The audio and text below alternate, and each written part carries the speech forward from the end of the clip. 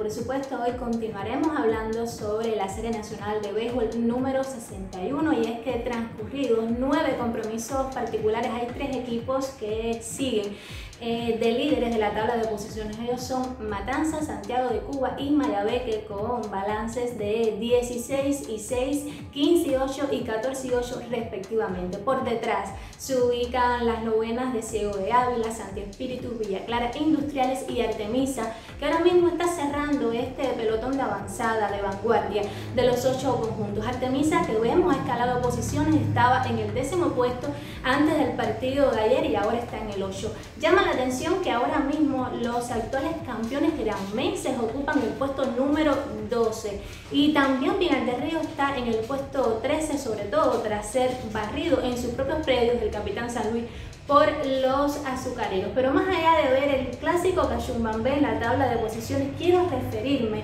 a cómo marcha el picheo en la actual temporada beisbolera. Para ello vamos a establecer una serie de comparación respecto a igual periodo de la serie 60. Si vamos por departamentos, les propongo comenzar por la efectividad, el promedio de carreras limpias. Nuestros lanzadores ahora mismo están trabajando para 5.02, en la 60 lo hacían para 5.55, o sea, han estado mejor. Si avanzamos quizás a las carreras limpias, que está muy relacionado con este orden, hay una estadística de 1491 en la actual temporada por 1583 en la serie 60, una diferencia significativa. Ahora les propongo eh, valorar los ponches, otro orden bastante importante en cuanto a materia de picheo se refiere. Bueno, la diferencia no es muy significativa, quizás unos 20 ponches más, unos 20 trucazos más que en la temporada 60. En este caso, en la serie 61, 1364 por 1341 en la serie 60. Ahora me detengo y creo que usted también lo debe hacer en los boletos. Ahí la diferencia sí es abismal y esto está muy relacionado con el control de los lanzadores, algo que es fundamental para obtener las victorias, para asegurarlas y demás para maniobrar al contrario. En la serie 60 cito y tome el lápiz 1212, en este caso boletos, regalados en igual periodo de, de la temporada con respecto a esta y en la 61 1392, casi 200 pasaportes más.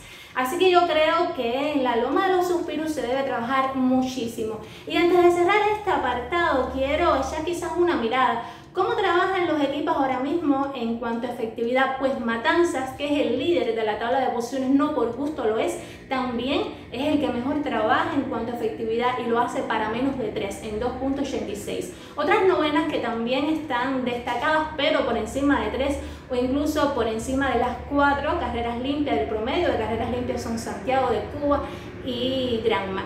Eh, abordamos algunas pinceladas de picheo, compartidas en la conferencia de prensa habitual de este lunes y quizás en próximos puntos deportivos nos acercaremos a otros renglones, pero yo al cierre les propongo conocer cuáles son las subseries más atractivas de este fin.